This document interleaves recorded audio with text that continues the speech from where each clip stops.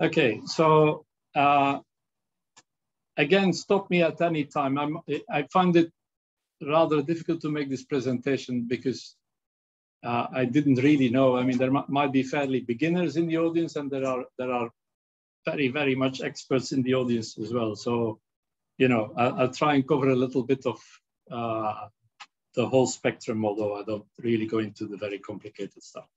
Um, so, just first of all, PET and SPECT are functional tomographic modalities. Are, by the, are there any MR people in the audience at all? No. Ah, yes, good. Congratulations. I'm very happy.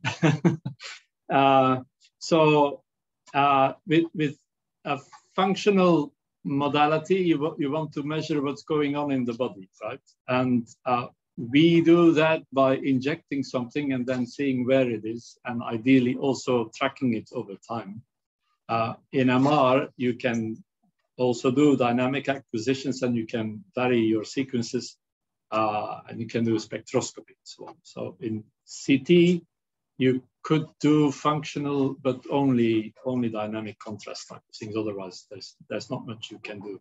So that's sort of our, our claim to fame. We want to image uh, functionality, even if we do it badly in some sense because of resolution and voice measures. So all of this started with nuclear medicine a uh, long time ago, um, where you uh, have a single photon emitter that, uh, you know, this uh, radio tracer that is injected into the body and that uh, emits uh, gamma photons and you try and measure those. Then you have a whole detector around it, which we're really not going to go into. But originally this was done with planar imaging. Uh, so you get projections. It's a little bit like an X-ray. But uh, so, and that's still used in, in a lot of cases. So this is, for instance, for bone imaging. And uh, it obviously is very useful. But in, in many cases, you want to do more than just get the projection. And we, we want to get in tomography. And that in, in nuclear medicine is quite old. Uh, and so here are some of the older scanner designs around. And amazingly enough, uh, for instance, the, the brain scanner, some of that technology is, is still, you know, people in Japan are making a, a helmet but that looks a bit similar to this. So uh, it's hard to invent something new, to be honest. so uh, it's, it's been around for a long time. So you, you could sort of wonder, well, what, what happened since then? Well, there's a lot of detector development, uh, improvements, and algorithmic developments as well, uh, which is uh, sort of more, more, the aim of uh, the course today. So uh, can get rid of this. Ah, you don't see it there. Good. Um, so I expect, uh, is are there any SPECT people in the audience? One, two, three. Okay, so right, so for the PET people who don't know then, uh, so we have the single photon emitted and we have our collimator and a detector. We need the collimator to find out where does the gamma photon come from. Otherwise, you have no direction information. Uh, there, there, at some point, 15 years ago, there were some theoretical results that said the, the best SPECT system has no collimator, but I don't think in practice that would ever work. Uh, so we have this collimator, you have it in very different shapes. Uh, this is a parallel hole collimator, but you can't do tomography with this. Uh, so you have to rotate it around the body, right? So that's how this uh, works.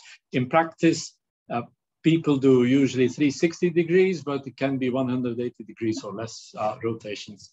That just depends on, on, on the organ and where it is, how you want to image it. Um, and, and, okay, I'll just play this again.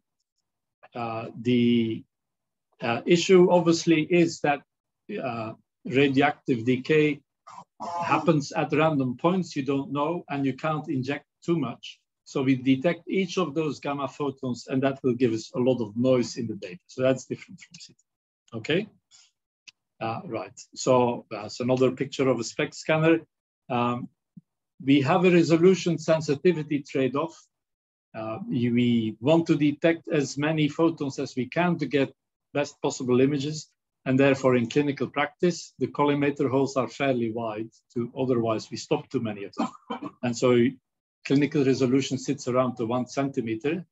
Uh, while in, in animal scanning, you can go below one millimeter or, or, uh, or even 0.1 millimeter. You, as long as you make your collimator holes smaller in some sense, can usually then done with pinholes, you can get arbitrary small resolution with SPECT, but then you don't detect a lot of photons.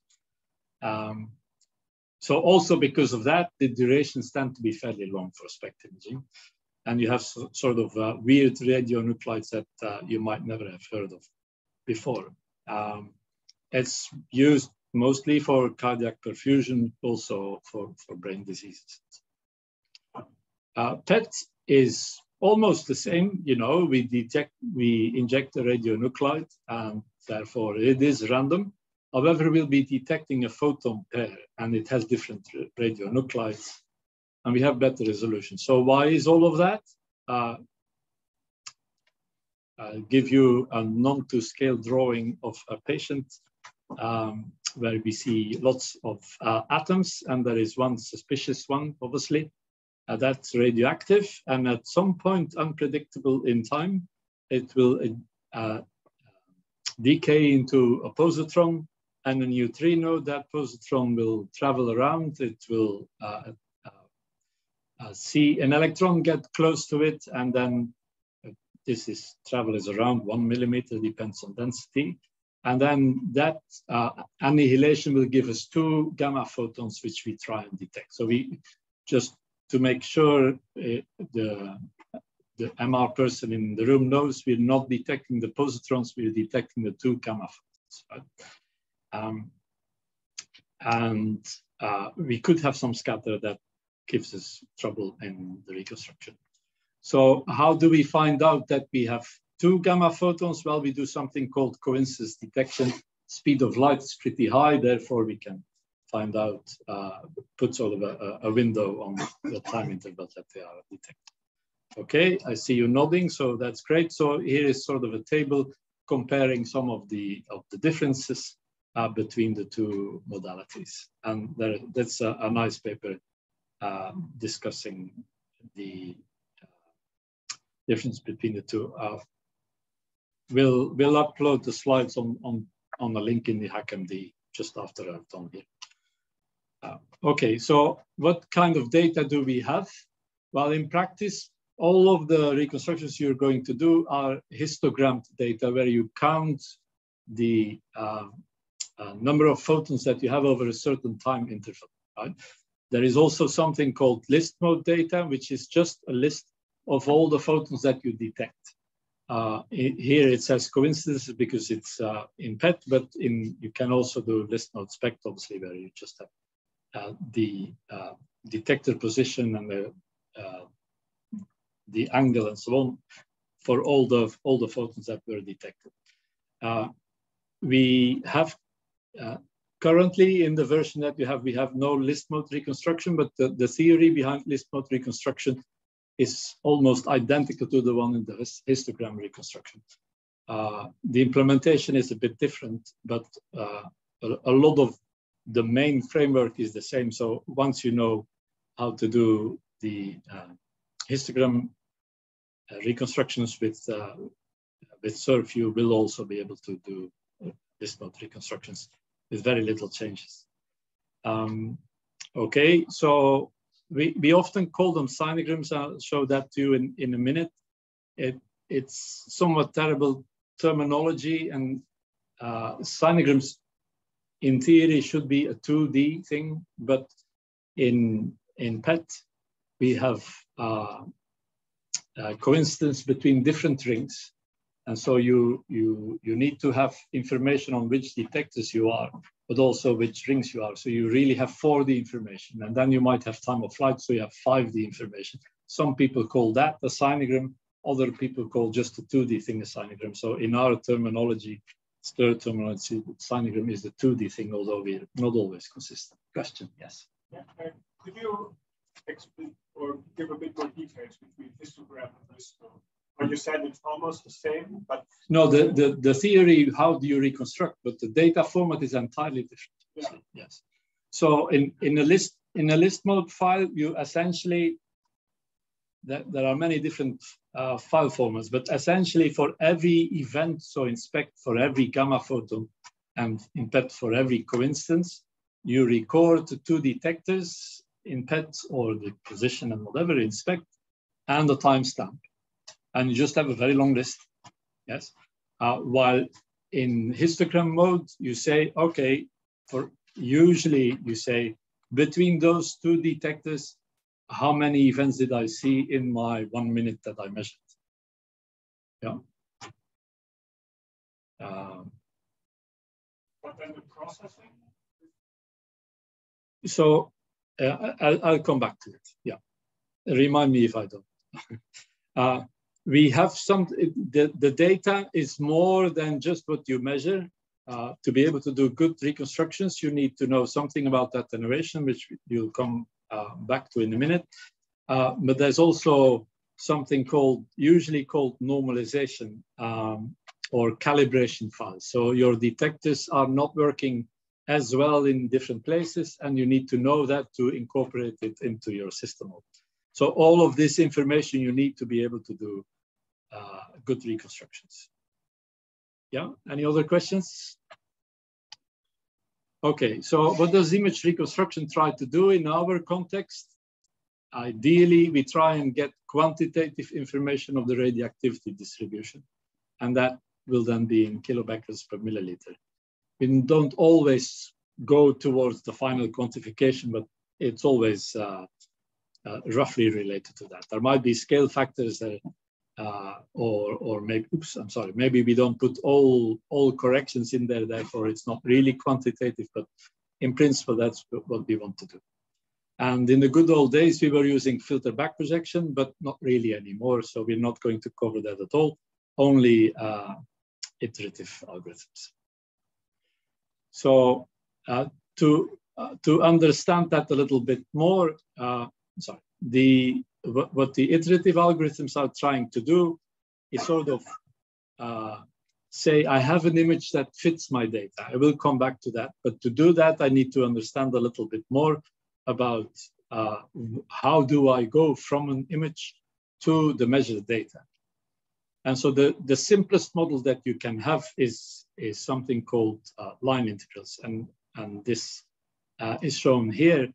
Um, if you have your uh, detector here and it doesn't rotate for uh, for let's say 20 seconds and uh, the collimator can only see photons from along this line, you over your measurement period, you will see an average of uh, the line integral here of all the activity, yes, that you see on this line of responses, sometimes called. And in PET, uh, similarly, you would have a coincidence between those two detectors. That source can be anywhere on the line of response, but they will still add to the same bin in the history. Yes? Uh, okay, so uh, if you if you have line integrals, um, you can do filter back projection, and therefore uh, that's where it came from. However, we don't really have line integrals. There's lots of other physics happening, uh, but uh, which which are uh, sort of the in two slides onwards. But before doing that, uh, the fact that you have line integrals means that you can go to uh, to sinograms. So our data is always related to lines. Yes. And so how do you encode line information into, into a histogram. And so I'll show that in 2D for a sinogram. And you, you will be able to see those images uh, once you do the demos and so on as well. Um, so this is simple simulation uh, where you have an image. Uh, that's just two sources here. And I, uh, this is the corresponding projection where the system model or the acquisition model is only line that's sometimes called the X-ray transform. Terminology again is, is terrible because in really X-rays, you do line integrals and then exponentials, but the X-ray transform doesn't do the exponential. uh, what can I say? Uh, so, okay, we need to find a line and compute the total uh, activity on that line. Now, every line can be characterized in many different ways, but if you think about sinograms, it is uh, characterized in terms of the angle of the line and the distance of the line from the origin. So if I uh, take my uh, a line that is also uh, parallel to the first one, but a little bit further from the origin, it ends up to a different point in my sign. So every point in my sinogram is one line. And the intensity that you see is the total activity on that line. And if I move that line across, I see lots of zeros, and at some point I will hit the other activity and I'll start to see some counts there, yes? Now I rotate my line. If it's through the center, so the, the uh, horizontal axis here is the distance from the origin, and uh, the vertical axis is the angle. It will be at a different place here, but then when I go, I'll, I'll sort of over. Does that make sense? Uh, so you can do some of the, you can play around with the sources in some of the demos if you if you want to. Um, so uh, why is this called a sinogram? Well, if if you really choose this coordinate system uh, and you compute the shape of this uh, of this curve, it will be half of a sine, and therefore it's called a sinogram. Now, in practice, we don't really store the data uh, according to distance of the origin because uh, our detectors uh, in PET are sitting on a ring and that distance is not, not uniformly spaced. So we, in practice, we store the data more in terms of indices uh, of the rings and, and of the detectors along the rings, but it sort of has the same shape. It's usually organized that it looks like this. So we don't really have signs, but almost. And if you have uh, square detectors and so on, then you see block effects in all of, all of those sets, uh, which we, we, don't have in the demos yet, although uh, we, we can do this now in STIR and therefore so. Uh, okay, any questions on sinograms? Good.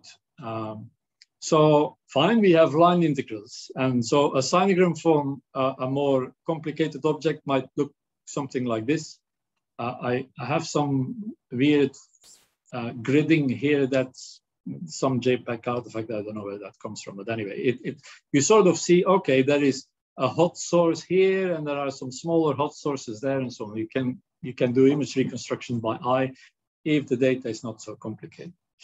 Okay, but there is attenuation and scatter and randoms, which I'll, I'll talk uh, about in a minute. Uh, but in some cases, there might be one of the detector blocks that is out, and that gives you roughly a, a diagonal line.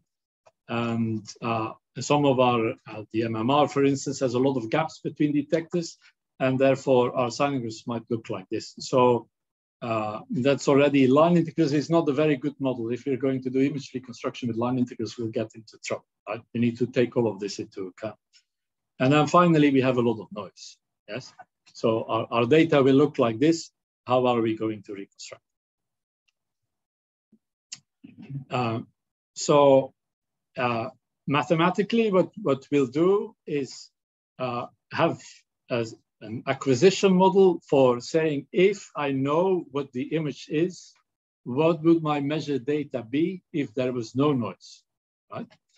And uh, that turns out in our case to be in very, very good approximation can be done using an affine model. Uh, so you have a, what's usually called a system matrix here. So X is the image, it's a system matrix.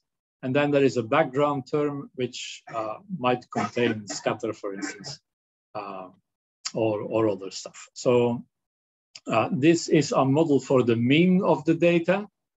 And then on top of that, we need to have a model for the noise. Yeah. Okay, so in SIRF, the data itself is called acquisition data. You've seen that in, uh, in Christoph's uh, demo earlier. And the uh, images are called image data and the acquisition model called acquisition model. Good, so our acquisition model forward computes this whole operation uh, as long as you set the background terms and so on, obviously. Um, you, uh, you will have seen in CIL, it's called direct because in CT you normally don't have the background term and they chose a different uh, name. In SIRF, we can therefore use forward or direct, it will give you the same thing. Make sense? Okay. Uh, so uh, a bit more than on, on the type of events that we can have. So in PET, I told you we have these coincidences, but uh, we also have scatter, right? And uh, we might have double scatter, and uh, we might have scatter where one of the events goes uh, outside of the scanner or is uh, has reduced in energy such that our energy window will reject it. Or we might have scatter where both photons are detected anyway. And that, that will be recorded in our list mode file or a sinogram. Somehow those scattered events we need to take into account. And then finally, specific to PET is we can have something that are called accidental or random coincidences, where there are two photons within, uh, sorry, two annihilations within the timing window, and we detect one photon of each, or maybe sometimes we detect three photons called multiples, and we need to handle that somehow as well. Uh, that the last case we don't have in, in SPECT clearly. Um, okay, uh, so our, our prompts in PET are the true unscattered ones plus the scattered plus the randoms. And so our system model will need to have a, a model for all three of these components. Uh, so a bit more on the on Compton scatter. So we have the two cases. One is it just the scatter makes sure we don't detect it. And the other case is where the, uh, I think there's an animation missing. Okay, the other case is where the scattered photon is detected. Um, so just for PET people, uh, well, I just had the uh, marking of my exam a lot of people think that in, in SPECT you don't have any scatter because you, you sort of think about the first picture, but obviously there is no reason why the scatter can't get into your collimator. So you also have scatter in SPECT and the, uh, the ratios are not so small. You, you can have 10, 10 20% of scatter in SPECT and in whole body PET, you can have 30 or 40% of your counts can be scattered. So it's, it's quite important to take this into account. Uh, so how do we model this? Well, in, in some sense, uh, oh, here is the, uh, the other animation coming a little bit late. Um, uh, people often uh, write this in terms of attenuation and a scatter background. And there is no really attenuation in PET or SPECT because the energies of our gamma, gamma photons is so high that photoelectric effect doesn't really happen in the body. So you, you don't get absorption of your gamma photons, you only really effectively get Compton scatter, tiny fraction of, uh, of coherent uh, scatter as well, but we usually ignore it. So why do we talk about attenuation then anyway? Well, attenuation is say, suppose I don't detect any scattered photons, I will have a loss in counts, right? I'll have loss for two reasons. One is photons get deflected, and another one is they are scattered, but they are rejected somehow, maybe with an energy wave. And that's what people call attenuation. So there is a difference in attenuation modeling between SPECT and PET, so I thought I'd quickly cover that. Uh, so we have our uh, single photon being emitted here, and the chance that this photon is uh, attenuated, meaning it's scattered somewhere along this line, is going to depend on the total density that you have uh, on the line from the source to your detector, yes? Uh, so that means if you are closer to the detector, you will have less of a chance that you get scattered, therefore you will have less attenuation. And so your, your acquisition model for SPECT will uh, look something like this, in, uh, simplistically written. We have a, a, sum of the voxel values uh, on the line of response multiplied with an attenuation factor, which is usually computed from CT with exponentials and so on. And then you need to sum it for all the voxels on the line plus a scatter backup. Yeah. Uh, so uh, why is that different in PET? Well, we have two photons and we need to compute the chance that both photons uh, scatter. And so the first photon gives me something like the exponential of the uh, uh, line integral through my mu map to from the source to the detector. And the other photon gives it from the source to the other detector. But the total probability of, of survival uh, is the multiplication of those two.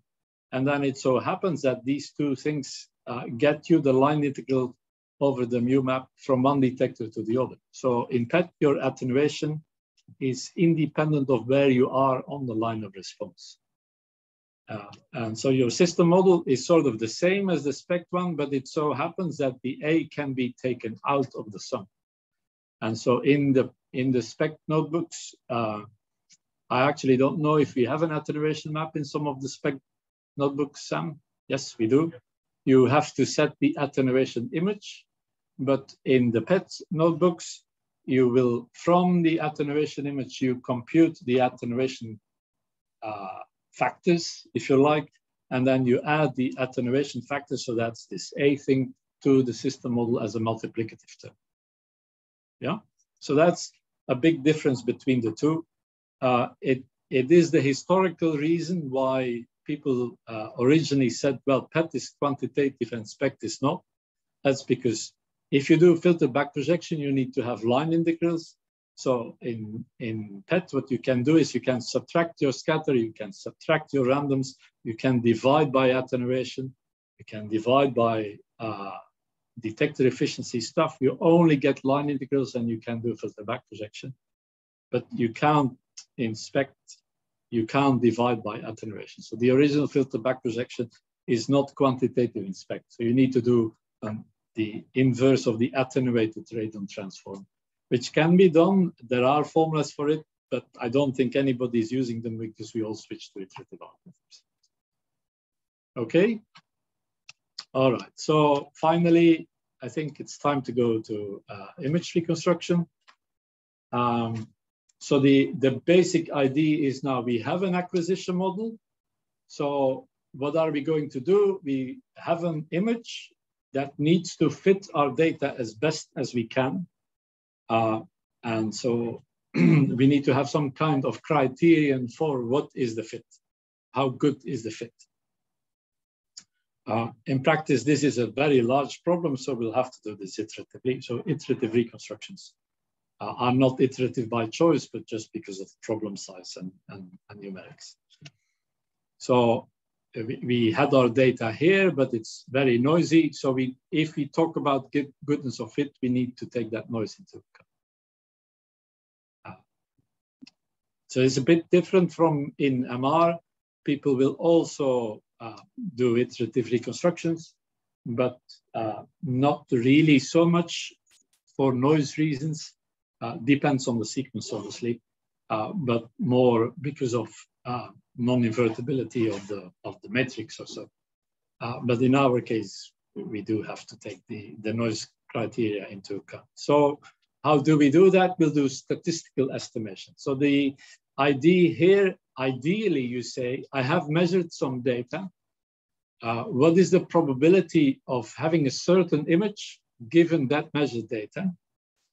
And then a good strategy might be to say, okay, I'm going to maximize that. I'm going to find the image that maximizes this posterior probability. Yes. Uh, now, uh, that is a bit of a hard problem, but Mr. Bayes came around and he said, well, we can turn that around to something like this.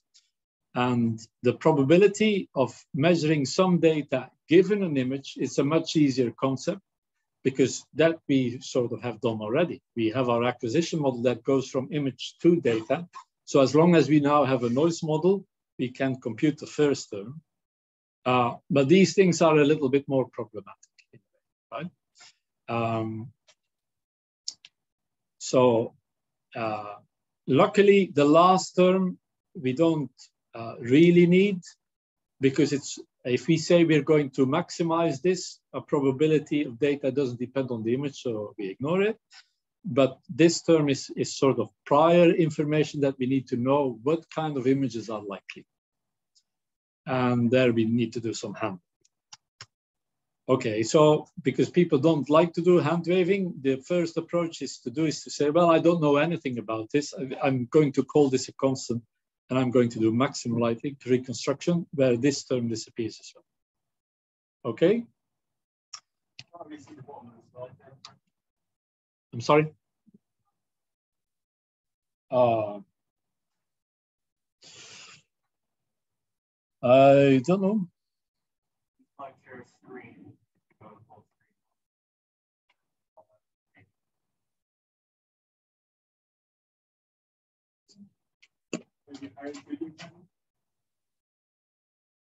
Sorry, where?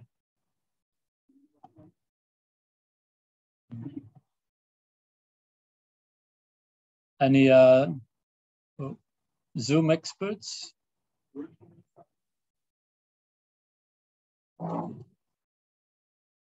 Nope.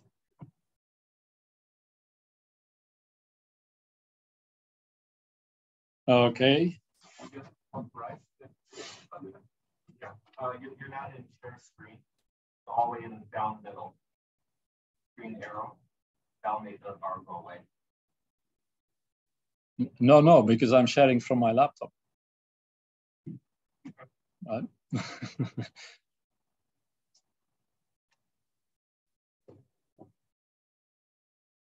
Don't know.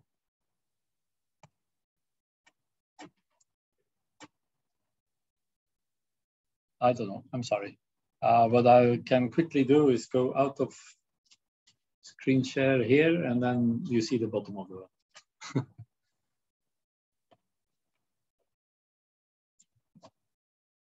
How to get rid of the bottom bar. Yeah. Not like this, right? How do you do it? Anyway.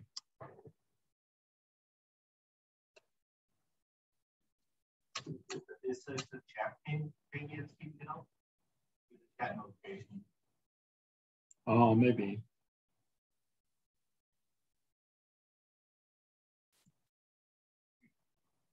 On my computer, it goes down, right? This is full screen. There Oh. you go. Thank you. You can do anything, yeah? I guess it was a chat. Okay. Uh, any questions? All right. So what kind of model do we have for, for noise? Well, maybe the most obvious one is to say I have a, a normal distribution and that might look like this. My measured data in the bins, right? So the histogram data. Um, I take the logarithm here so I, you don't see the exponential anymore. Uh, minus the mean squared divided by some stand, uh, standard deviation squared. Uh, that is the uh, probability, uh, the logarithm of the probability of measuring some data given the mean value and the mean value I compute by my acquisition. And so this stuff would be used uh, in MR.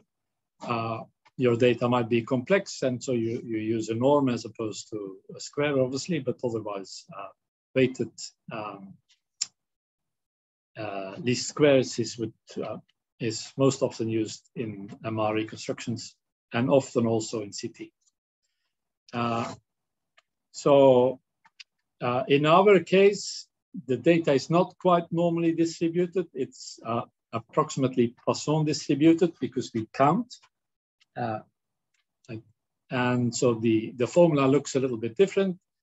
Um, you have the data times the logarithm of the measured data minus the measured data plus some stuff which is irrelevant once you maximize it. That's just taking the Poisson distribution and taking the logarithm of it. So what we will be doing therefore is we uh, plug our uh, forward projection into this, that gives us a function of the image and that is what we're going to maximize. Okay? so the most common algorithm to do that is called MLEM. Uh, Andrew has a great uh, video on, on how that actually works and where it comes from. I'm going to do this very quickly. Um, it's, uh, it's a fantastic algorithm in the sense that it's quite easy to implement. So there is an exercise for you to implement it yourselves. And it's also theoretically, uh, it converges mathematically to the maximum likelihood solution. Uh, has been proven about in 10 different ways. I think if you look at Jeff Fessler's book in progress over the last 15 years, he, every year he adds another proof. Um, so it's uh, theoretically nice, practically nice as well. And uh, we'll just have some formulas on that now, how it looks like. Uh, so it's an iterative algorithm. So I, I describe it in, in words uh, as opposed to formulas that might maybe be easier or maybe not, depending how you think. Uh, so when it says I have my measured data and I need to compare it to my estimated data. Uh, and the estimated data I compute by a forward projection of my current image, yes? Now the comparison in MLEM is a division. It's not, in, in other algorithms, you, you might have a difference between the two or something, right? But here we do a division. Uh, okay, so now we have a sinogram or, or acquisition data that ideally should be close to one. Uh, but we can't compute an image update from that. So what it does then says, I'll do back projection. And back projection is mathematically, it is multiplying with the transpose of my system matrix. So I have a acquisition data, I back project it, now I have an image again. So that tells me something about where is my ratio too large and where is it too small.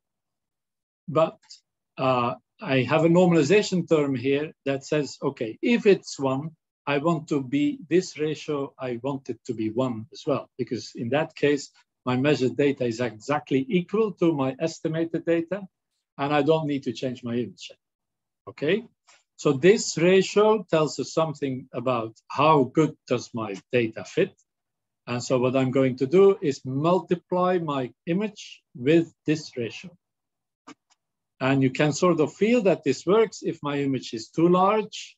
At the current uh, estimate, this ratio will be too small and therefore the final, sorry, the next new estimate will be a bit smaller and it will do that region, yes? So intuitively, I think this makes, uh, makes some sense. Uh, you mathematically also, it makes sense, obviously. And I'm, I tend to think in terms of gradient algorithms. And so I've rewritten this formula here in an additive term, so it's a multiplicative uh, form over here. If I write it in an additive term, I haven't done anything. Uh, and then I look at this term over here, then I see that this turns out to be the gradient of my Poisson log likelihood. And uh, so then you see that we divide here because we have the uh, a gradient of a logarithm that gives us one over, right? So now you go and sit down during the coffee break and you convince yourself that this is just the gradient of the log likelihood. And what we have is a preconditioned gradient descent out. But it looks multiplicative. It makes intuitive sense as well. So uh, maybe what you can see as well is that um, if we start with a positive image, because it's a multiplicative update, we'll, we will remain with a non-negative image at the very end. So MLEM tries to find us the maximum likelihood solution over the non-negative images. And that's because usually we don't want to have negative activity estimates. Yes, uh, It also stabilizes the problem a bit. Uh, in the additive term, that's not so obvious. And in particular, if you would add step sizes here, or so you have to be sure that you actually uh, remain in the non-negative region. Um, so it's a form of a, a constrained uh, gradient descent algorithm. Make sense? So if you, uh, no, maybe I'll, I'll do that in a minute. So this is an example of how it evolves over iterations. So uh, you will, you are able to do some of this in, in the exercises. on the left is without noise and on the right is with noise. So I'll play this again. Yeah, and you, you see it sharpening up. So it's we, we normally start with the uniform image uh, because we say we don't know anything, and then we do some iterations and we see it, see it gradually uh, sharpening up. But we also see that it becomes noisier, right? And so this was up to 50 iterations. So now I'm going to go much higher. And I'm, I'm going to display this on a logarithmic update uh, scale, yes, because otherwise we need to wait too long for uh, 8,000 iterations. Um, so you see that if there is no noise, nothing happens anymore. We are at the maximum likelihood solution. And if it's noise, it just keeps on going. And it goes to weird places in a way. And that is because your maximum likelihood solution is actually not very nice. And that is because our uh, system uh, model is actually ill conditioned, right? So the, the system matrix gives us information on the image, but it doesn't give it uh, very uniquely in some sense. There's, there's, if there is some noise in the data, uh, you can fit a very noisy image to produce that noisy data, even if we know that the image shouldn't be so noisy. That's maximum likelihood has a problem. So what people usually do is they say, ah, stop at 100 iterations or maybe 200. And there's a whole uh, discussion on, on that, on when you want to stop, which you are very welcome to ask later on. Make sense? Yeah. Is there a way to like analyze such noisy images? Yeah, yeah. So in, in clinical practice, what people do is, uh, you know, on, on most patients, you, you can sort of figure out where is a, visually nice image and you will stop there. And the second thing that people do is they apply a, a low pass filter to it, Gaussian, Gaussian filter or something. If you apply your low pass filtering uh, amazingly, because the structure of the noise is very salt and pepper like, a low pass filter will clean that up dramatically. Yes. In contrast to filter back projection gives you streak artifacts and they're much harder to get away from. But this, this noise you can, or a median filter or something like that, you, you can get rid of fairly easily. Nevertheless, it, it is a problem because even then, if you keep on iterating, which you'd want to do if you want to get good quantification out, uh, you, you are in trouble. So what can we do to, to penalize that? Uh, before we go there, uh, in practice, nobody's using MLEM because it's just way too slow. So we're, we're doing something called OSEM, and the OS stands for ordered subsets. So I'll, I'll quickly try and explain that to you. So uh, MLEM says I look at all the possible views. So this is maybe more of a SPECT uh, view. So you have your detector in eight different positions here. And every iteration, it's going to look at all the positions of your detector in this case.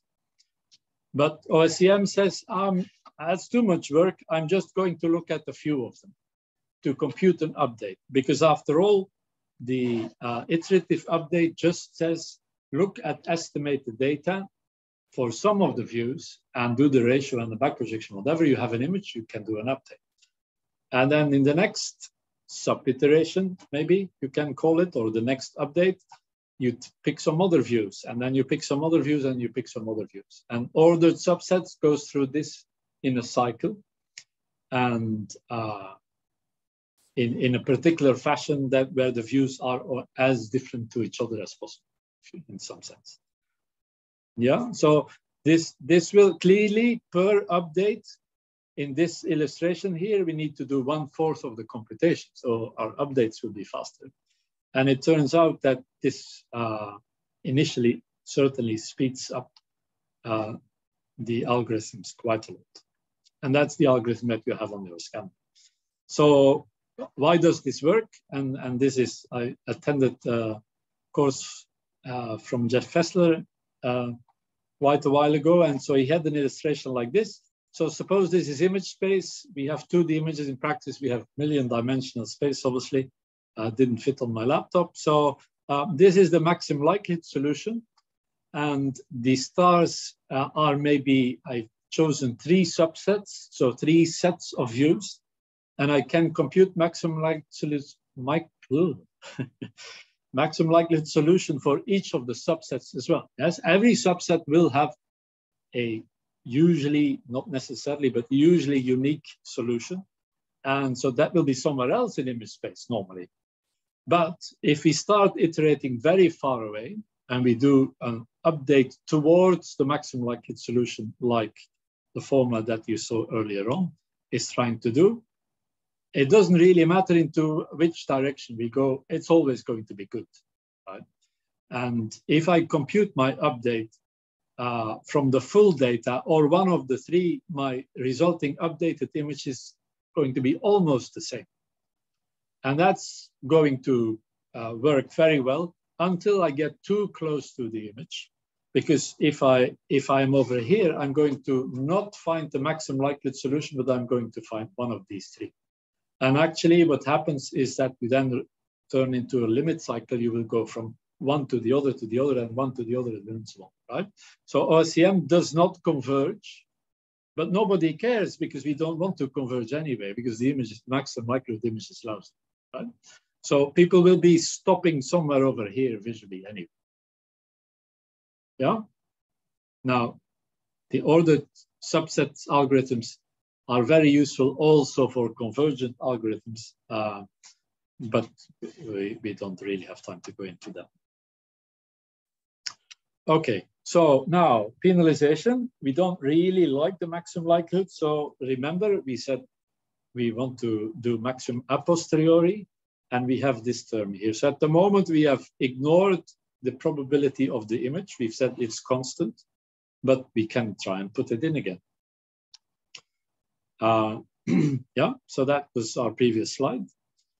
And uh, just before I give you an example of a penalty, uh, I'm nearly done, by the way. Uh, the um, This is my map formulation that I've just shown you. Uh, you can also think about it in a different way. You can say, I need to have uh, a distance metric that says how close is my uh, estimated image to the measured data and a penalty for images that I don't like. So these two are exactly equivalent except there is a minus sign. So here I'm maximizing, here I'm minimizing. So if you use SIRF, you will be maximizing probabilities. If you use CIL, you will be minimizing distances. Uh, it's just something to be to be aware of, but they're, they're uh, mathematically the same. So the trick obviously is to find a good penalty. Yes. And th there are many around. Uh, and the simplest one in some sense uh, is, and, and, theoretically nice to analyze, but maybe not so nice uh, images coming out of this, something which is called the quadratic penalty often. So what, what you say is, uh, I don't really want to have uh, voxel values which are very different from each other if they are very close, uh, if spatially located. So you just take, uh, you take in 2D, you would take a grid and with respect to the central voxel, you will take the top and the bottom and the left and the right, and you penalize the quadratic differences between those two. That will prevent the salt and pepper noise, and it's very effective in doing that. Obviously, what it will also do, it, it will uh, prevent you from having sharp edges in, in the image, yes? So it will sort of over smooth. Uh, so if you don't want to do that, you can uh, have other functions than quadratic. You can do a log cosh or, or TV or, or uh, whatever that you like, where you say, uh, if these differences are very large, I think they are going to be an edge. That's the simplest thing you can do. And there are more sophisticated things as well, where you can say, no, uh, this I, I put some weights in front here where I've, I find information from an anatomical image or, uh, or some other image that I have lying around that tells me where do I have edges. Those uh, uh, differences between voxels on one and the other side of the edge, I allow while within the same organ I, I penalize them. And so we have an exercise on that, uh, doing a PET and SPECT uh, information where you use the PET for the SPECT or the, or the other way around. I can or uh, also for MR multi-sequence, this kind of stuff is uh, getting uh, quite common these days. Yeah, so th these are examples of penalties that we can put in. Obviously, another way is to say, no, no, I'm, I'm, I'm going to try and find that with deep learning, and you, you will have a presentation on that later. I think that's what I wanted to cover. Uh, I just quickly go over uh, some advantages. Uh, the advantage is because you have the penalty, you can iterate for a long time and your image will not deteriorate. I don't have a, a video on that, but I think there is an exercise that allows you to check that. Um, and uh, also theoretically, because you don't have the uh, numerical and, and, theoretical instabilities, you can do Taylor expansions and compute resolutions and noise behavior. So, so that's all nice. Um, however, we have more more choice and that becomes difficult. And then maybe we want to find penalties using deep learning, using training data. Uh, okay. Um, so just very short summary, uh, PET versus SPECT image reconstruction. Really, on I haven't, in all the maximum likelihood stuff, I haven't had to tell you if it is PET or SPECT. It's exactly the same. So therefore, the framework, the software, and whatever that use is exa exactly the same. But the system models are very different, and therefore the effect on the images is going to be different. The type of penalties, strength of penalties that you need to use is also different. Uh, noise is all important. It's all about noise control, different to what you have in CTNN. Okay, that's what I had here. Uh, any questions? Yeah. So for the Boston algorithm, how do you normally decide the, the parameters like iterations and so Yeah, so uh, for the people at the back, the question is for OSEM, how do you decide on the number of subsets and the number of iterations? So in, in clinical practice, um, it usually is up to the clinical physicists to, to do that kind of optimization in conjunction with the uh, uh, the physicians. And you go to every center and they'll have some different preferences because the physicians like different image quality. Uh, and then they buy another scanner and then they say, well, these images look lousy and it takes two years before they're used to them. So there is no, uh, nobody has a hard and fast rule is this is how you should do it. Uh, from, from a physicist perspective, the more iterations you do and the less subsets you have, the better you are, because you get uh, you get better quantification. You're not dependent on which image you started off from. Uh, you, if you have small sources, you can spend more time digging the small sources out. There is a there is an exercise on that, but in practice they are time limited, so that's not what they will be doing. So they will use a fairly high number of subsets and not too many full iterations. So Siemens is these days a little a little bit uh, uh, strong on that perspective, they, they use very few, uh, while GE chooses by default chooses a bit more. That depends also on, on scanner characteristics and so on. And then every center has their own preferences. So there's, I have no good answer. Um, it, it's sort of, it, uh, you know, the there was originally filter back projection and then OSEM came around. And it took five years before it was taken up by the clinicians because the artifacts that you see between the two are very different and they have to train their neural network to get used to it. And it's the same for subsets and, and so, so you, you get used to a certain quality of images and therefore you can't really change it anymore once they're used to that quality. Yeah. With more compute, can you then expect to go to non-subset or is that amount of compute so large? Um, even in five years. Well, unfortunately, our scanners get bigger and bigger, and we, we have a talk on total body PET, so computation power there is a problem. Um, but um, yeah, I, I mean, uh, in actually in in our current software, uh, because of uh, computational uh, well, implementation issues. If you use the GPU projector, it turns out that it's better to use no subsets than, than with subsets, just because the way that we organized it. And I know we're stupid, but, uh, but anyway.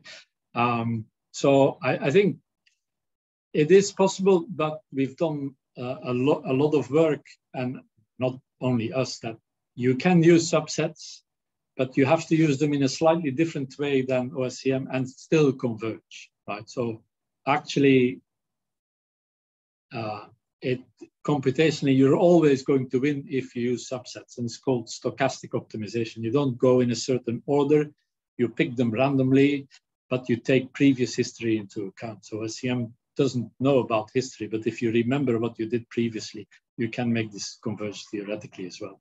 And then computationally, you win. So I don't think people will ever go back to one subset algorithms. Yes? You mentioned that for OSEM, it doesn't fully converge because the, the different subsets have different optimizations in the image space.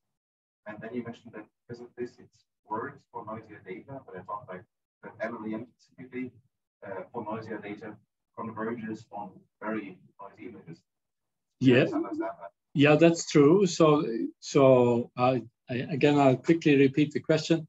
Uh, so OSEM limit cycle is worse for noisy data, but MLEM converged image is also worse for um, for noisy data, but the OSEM one is even even worse, you know. So if you if you do let's say 1,000 updates, your MLEM image will be very noisy, but the OSEM one will be complete nonsense at that point. And if you apply strict OSCM, you can even have a zero image because it introduces zero where you don't want to have them and you uh, because it's a multiplicative algorithm, you can never get away from this one. So uh, it's, yeah, you have bad and even worse. But if you if you have a penalty, so you can, uh, yeah, I, that's something that I quickly wanted to say. I'm running wildly over time, but uh, it's a good discussion. Um, where was the MLEM formula? Here, right. So this is a preconditioned uh, additive form of MLEM. So if you now have a map, what you would be doing is you don't compute the gradient of the log likelihood, but you compute the gradient of your complete objective function, right? So there will be, if you like, brackets plus gradient of penalty here? Uh, and then you can still use the same preconditioner, and then you have something called preconditioned gradient descent format and that is, uh, if you then put a subset version of that, you get BSREM, and that's what GE is using on, on their uh, uh, reconstruction algorithms with QClear. Um, so um, if you use map, noise is not so much of a problem, and therefore uh, you uh, you can do more iterations. But if you then use normal ordered subset variation of this one, it will still have a limit cycle and it will still have more noise than the one subset version, unless you do the stochastic variance stuff. Okay, so there's, there's bad and there is even worse. Okay, I, I think I should probably stop and I believe we have a, a coffee break.